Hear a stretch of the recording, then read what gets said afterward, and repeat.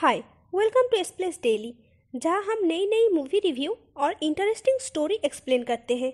आज मैं बाप बेटे की प्यार की एक ऐसी स्टोरी बताऊँगी जो बहुत इंटरेस्टिंग होने वाली है। वीडियो को लास्ट तक देखना ये स्टोरी जानने के लिए। अगर आप इस चैनल में नए हो तो नई नई इंटरेस्टिंग स्टोरी और मूवी एक्सप्लेनेशन के लिए मेरे चैनल को सब्सक्राइब करिए। आज की स्टोरी बाप बेटे की ऐसी एक प्यार की स्टोरी है जहाँ अपने पिताजी के लिए कुछ भी कर सकते हैं।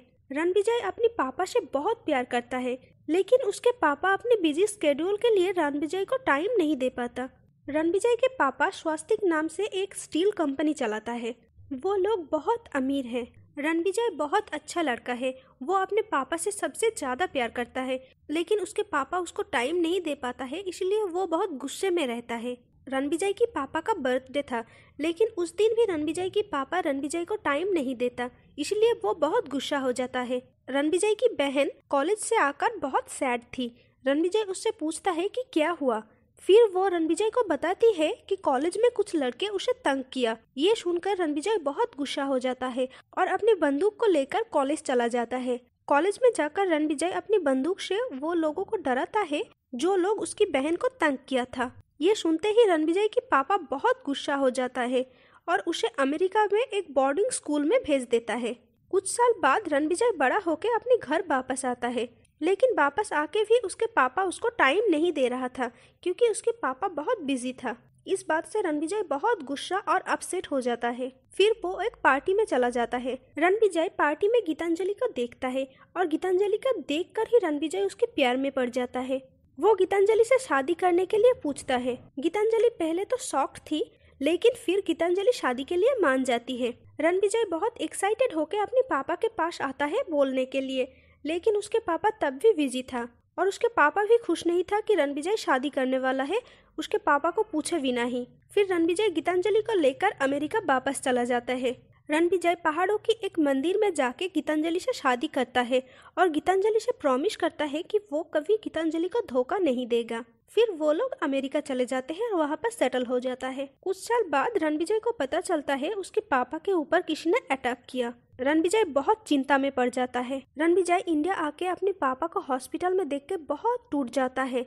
रणविजय ढूँढने लगता है कि कौन उसके पापा को मारना चाहता है। फिर रणविजय पंजाब जाता है। जहाँ उसकी दादाजी की घर है। वहाँ जाकर रणविजय अपने कुछ कजन्स को ले आता है अपने पापा की रक्षा करने के लिए। रणविजय बहुत चालाकी से एक बॉडी डावल भी अरेंज करता है उसके पापा की। सभी लोग सोच रहा था कि रणविजय बहुत एक्स्ट्रा एक्स्ट्रा कर रहा है। लेकिन रणविजय को लग रहा था कि कोई फिर से कोशिश करेगा उसके पापा को मारने के लिए। और वैसा ही हुआ एक दिन फिर से अटैक हो गया। लेकिन उस दिन रणविजय की पापा बहुत लकी था कि वो घर में था और उसके बॉडी डबल रास्ते में। गुंडे उसकी बॉडी डबल को मार देता है। रणविजय बहुत डर जाता है। रणविजय बहुत कोशिश करता है कि जानने के लिए कि वो कौन है। एक दिन रणविजय को पता चल जाता है उसकी बहन की पति प्रॉपर्टी के लिए रणविजय की पापा को मारना चाहता है। रणविजय उसकी बहन की पति को मार देता है अपने हाथों से। फिर रणविजय ढूँढने में लग जाता है कि मास्टर माइंड कौन है। एक दिन रणविजय को पता चल जाता है कि मास्टर माइंड है उसका एक कज़न भाई जिसका नाम है जमाल। रणविजय की पापा रणविजय को कहता है कि जमाल को माफ़ कर देने के लिए। लेकिन रणविजय अपने मन में ठान लिया था कि वो जमाल को मार के ही तम लेगा। वो गन लेके जमाल को मारने जाता है, लेकिन तब तक जमाल जा चुका था। वहाँ पर बहुत फाइट होता है। वो जमाल की सारे गुंडे को मार देता है अकेले ही। और रणविजय बुरी तरह घायल हो जाता है। हॉस्पिटल में एडमिट करने के बाद पता चलता है कि रणविजय की हार्ट बहुत डैमेज हो गया है। उसे हार्ट ट्रांसप्लांट की ज़रूरत है। वो लोग हार्ट ढूंढ रहा था। तभी एक हार्ट डोनर मिल जाता है। रणविजय की जब हार्ट ट्रांसप्लांट होता है सक्सेसफुली, तब रणविजय के पास एक लड़की आती है। वो कहती है, रणविजय को जो हार्ट मिला है, वो उसकी फियोनशे का था। फिर वो दोनों धीरे धीरे बहुत क्लोज बन जाता है और रणविजय उसके प्यार में पड़ जाता है। रणविजय गीतांजलि से प्रॉमिस किया था कि वो गीतांजलि को कभी धोखा नहीं देगा, लेकिन रणविजय उस नई लड़की के प्यार में पड़ जाता है। और गीतांजलि के ऊपर चीट करता है। जब गीतांजलि को यह बात पता चलता है, गीतांजलि बहुत गुस्सा हो जाता है। रणविजय गीतांजलि से माफ़ी माँगता है, कहता है, मैंने इतने लोगों का खून किया, फिर भी तुमने मुझे माफ़ कर दिया। अब भी मुझे माफ़ कर दो, मैंने तुम पर चीट किया। इवेंचुअली गीतांजलि उसे माफ़ कर देती है। फिर रणविजय उस लड़की के साथ ब्रेकअप कर लेता है और फोकस करता है कि कौन उसके पापा को मारना चाहता है। फिर उसको पता चलता है कि जमाल किसी दूसरी कंट्री में चला गया है। फिर रणविजय अपनी घर आता है और अपनी प्राइवेट जेट लेकर उस कंट्री की तरफ़ निकल पड़ता है जमाल को ढूँढने के लिए। वो आखिर जमाल को ढूंढ लेता है। रणविजय बहुत अपसेट था, क्योंकि जो भी हो, जमाल उसकी भाई था। रणविजय जमाल से कहता है, सब कुछ भूल के गले लग जाने के लिए वो जमाल को अपनी प्रॉपर्टी का हिस्सा देगा।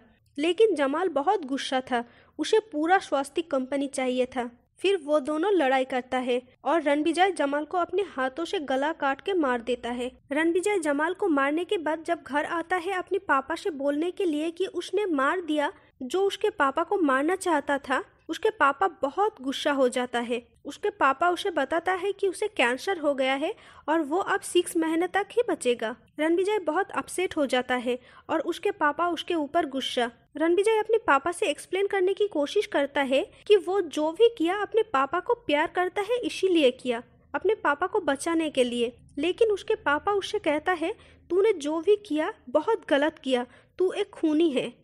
इतने लोगों को तूने मारा है, अपने भाई को भी नहीं छोड़ा। फिर रणविजय बहुत गुस्सा हो जाता है और वो अपने पापा को ब्लेम करता है।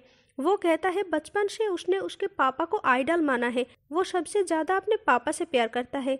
लेकिन उसके पापा उसे कभी भी टाइम नहीं दिया, ना आज, ना बचपन में, ना कभी।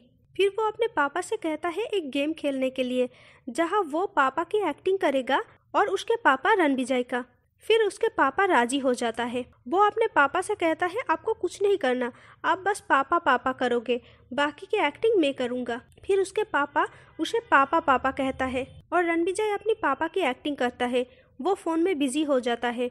उसके पापा जब उसे पापा पापा कह रहा था, वो फ़ोन में बिज़ी हो जाता है और उसके पापा के ऊपर चिल्लाता है कि, क्या हुआ? ऐसे क्यों बात कर रहे हो? क्या हुआ? इतने पापा पापा क्यों? तब उसके पापा को रियलाइज़ होता है कि वो कितने टेरेबल फादर था। उसने अपने बेटे को कभी भी वक्त नहीं दिया। फिर उसके पापा रियलाइज़ करके उसे गले लगा लेता है और उसे माफ़ कर देता है। रणविजय भी अपने पापा को माफ़ कर देता है। रणविजय को बहुत खुशी होता है कि आखिर उसके पापा उसे गले लगा लिया, उसे टाइम दे रहा है। रणविजय ने इतने लोगों को मारा, उसने अपनी कज़न भाई जमाल को भी मार दिया, इसीलिए गीतांजलि नहीं चाहती थी कि उसके बेटे भी अपने बाप की तरह ही निकले। इसलिए वो अपने बेटों को लेकर अमेरिका वापस जा रहा था। लेकिन रणविजय की बेटे कार से निकलकर आके अपने पापा को गले लगा लेता है। स्टोरी यहीं पर खत्म होती है। आपको ये स्टोरी जान के कैसा लगा? क्या आप लोगों को लगता है कि रणविजय ने जो किया, ठीक किया? वो गीतांजलि से प्रॉमिस किया था कि वो कभी गीतांजलि को धोखा नहीं देगा, लेकिन फिर भी उसने गीतांजलि को धोखा दिया। वो गीतांजलि के साथ चीट किया, फिर भी गीतांजलि ने माफ़ कर दिया उसे। अगर आप होते तो आप क्या करते? क्या आप लोगों को लगता है कि रणविजय ने जो किया, ठीक किया? आपको रणविजय की कहानी कैसी लगी? कमेंट सेक्शन में बताइए। मिलते हैं बहुत जल्द। बाय